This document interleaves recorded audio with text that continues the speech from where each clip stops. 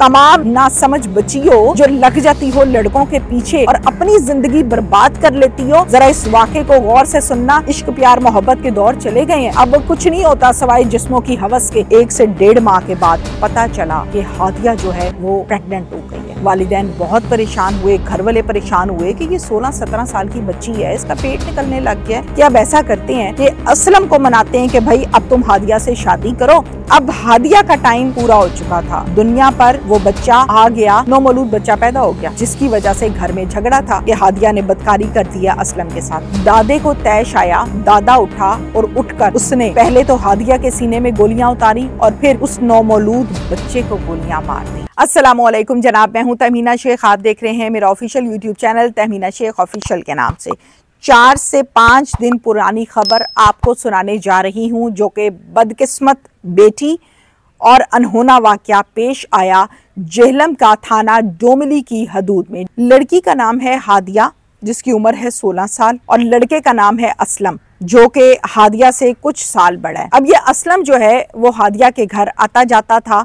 इनका family friend था। जैसे हम देखते हैं कि हमारे फैमिली फ्रेंड्स होते हैं हमारे घरों में आते जाते हैं खाना पीना इकट्ठे उठना बैठना इकट्ठे ईद शबरात इकट्ठे बाज़ार जाना इकट्ठे। तो इसी तरह से असलम और हादिया आ, असलम जो है वो हादिया के घर आता जाता था। एक गाँव के भी थे आना जाना काफ़ी लगा रहता था। अब इस आने जाने के दौरान हादिया की अंडरस्टैंडिंग हो गई असलम से। घर वालों को ना पता चला। काफ़ी देर ये गपशप का सिलसिला चलता रहा। एक दूसरे को पसंद करने लग गए कि जी, हम कल को शादी करेंगे और इसी तरह ये गुफ्तगु का सिलसिला जो है, गपशप का सिलसिला जो है, वो चलता रहा। एक टाइम ऐसा आया कि फ्रैंकनेस का ये लेवल हो गया कि कुछ एक से डेढ़ माह के बाद पता चला कि हादिया जो है, वो प्रेग्नेंट हो गई है। ज़ाहिर है, माँ बहुत परेशान हुई।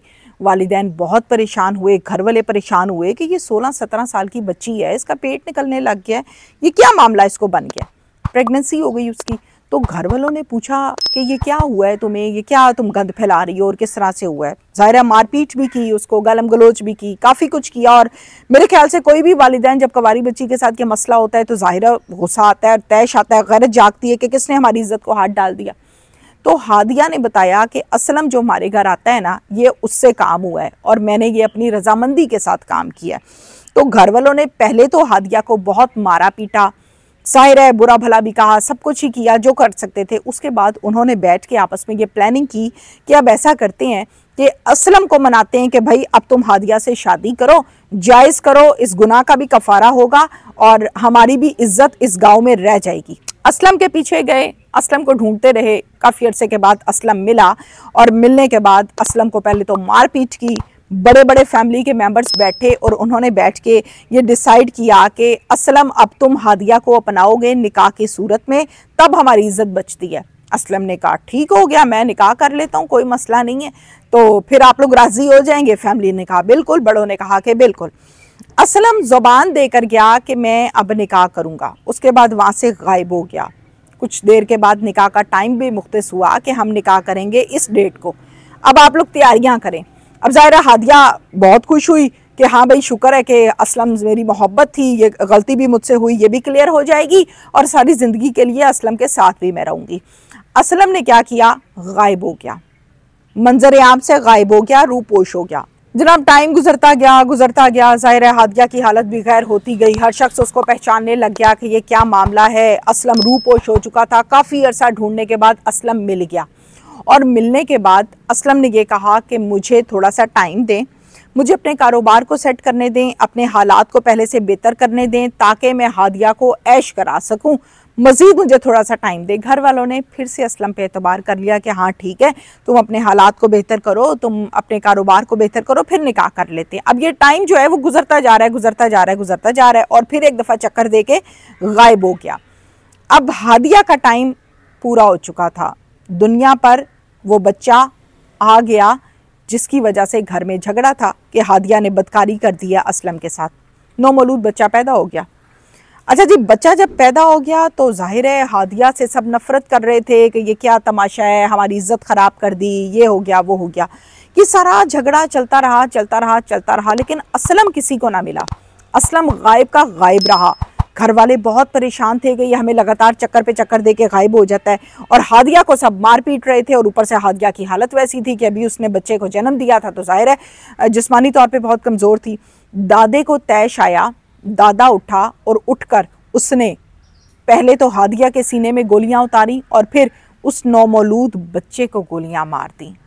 तोबा कि इस बच्चे की वजह से हमारी इज़्ज़त उतर गई है और इस हादिया की वजह से हमारी गैरत को ललकारा जा रहा है। उसने दादा ने उठकर हादिया को भी कत्ल कर दिया और उस नौमौलूद बच्चे को भी कत्ल कर दिया और इस सारे मामले में फिर से असलम का कोई पता नहीं है क्या असलम किधर है, किधर नहीं है।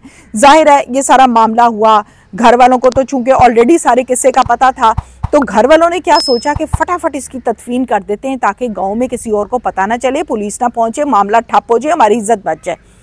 घर वालों ने जल्दी जल्दी जो है कफन दफन की तैयारियाँ की, गौसल करवाया और जल्दी जल्दी से हादिया को दफनाने की कोशिश की गई। अब हादिया को दफनाने के लिए कफन दफन भी हो गया, सॉरी, गौसल भी हो गया और उसको लेकर जा रहे थे दफनाने के लिए कि पुलिस को किसी ने इतला दे दी। तो यह मामला हो गया, नौमलूद बच्चे को किसी ने गोली मार दी है तो आप पहुँचे। अलहमदुल्ला पुलिस मौके पर पहुँची। बल्कि मैं खराज तहसीन पेश करूँगी कि जिन्होंने एंड टाइम पर जो सबूत ख़त्म होने से पहले पहले पकड़ लिया, डोमिली थाना है ये जनाब जहलम का। मौके पर पुलिस पहुँची, पहुँच के उन्होंने सबसे पहले हादिया की जो डेड बॉडी है, उसको अपनी गिरफ्त में लिया। उन्होंने कहा कि नहीं जी गया हमें दे दें। हमने कुछ फॉर्मेलिटीज़ अपनी पूरी करनी है, उसके बाद आप इसको दफना सकते हैं। उन्होंने लिया पोस्टमार्टम करवाया तो पोस्टमार्टम में ये बात सामने आ गई कि हादिया को गोलियाँ मारी गई हैं। हादिया के नौमलूद बच्चे को गोलियाँ मारी गई हैं। हादिया कुछ देर पहले हादिया ने बच्चे को जन्म दिया। ये तमाम डिटेल्स जो हैं पोस्टमार्टम रिपोर्ट के अंदर आ गई। पुलिस ने जब तफ्तीश की घर वालों से कि आप लोगों ने पुलिस को क्यों नहीं बताया कि हादिया इस तरह से फौत हो गई है तो उन्होंने कहा, ये सब झूठ है।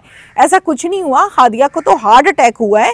हार्ट अटैक की वजह से हादिया की डेथ हो गई है। तो पुलिस ने कहा कि हमें कोई मेडिकल रिपोर्ट दिखा दें। जब अटैक होता है तो डॉक्टर के लोग भागते हैं। डॉक्टर बताता है, मेडिसिन देता है तो कोई आपके पास प्रूफ है? तो प्रूफ तो उनके पास नहीं था। अब ये सारा किस्सा हुआ तो पुलिस ने यह कहा कि हम खुद इसके मुदई बनेंगे। पुलिस इसमें, पुलिस जो है, स्टेट जो है इसमें मुदई बनेगी ताकि इस पर एक्शन हो और ये जुल्म हुआ है, ये नहीं होना चाहिए था। तो घर वालों ने क्या खिचड़ी पकाई कि जल्दी जल्दी किसी ने माँ को ये पट्टी पढ़ाई कि आप इसमें मुदई बन जाएँ ताकि जब आप मुदई बनेंगी, केस चलेगा, दादा चूँकि इसमें मुलजिम है, आप अगले दिन या दो चार दिन के बाद बयान देंगी तो दादा बाहर आ जाएगा जेल से, मामला ठप हो जाएगा। अब हादिया खो दी नौमलूद बच्चा खो दिया सकी बेटी खो दी। अब बचाने की तैयारी की जा रही है दादा को। तो ये जुल्म पर जुल्म है, इंतहा है, पुलिस इसमें जो है, उसने अपना बड़ा पॉजिटिव किरदार अदा किया। तो तमाम नासमझ बच्चियों जो लग जाती हो लड़कों के पीछे और अपनी ज़िंदगी बर्बाद कर लेती हो, जरा इस वाक़े को गौर से सुनना तो समझ में आएगा कि वो इश्क, प्यार, मोहब्बत के दौर चले गए हैं। अब कुछ नहीं होता सवाई जिस्मों की हवस के, जिससे जिंदगियाँ बर्बाद होती हैं, खानदान बर्बाद हो जाते हैं। Thank you very much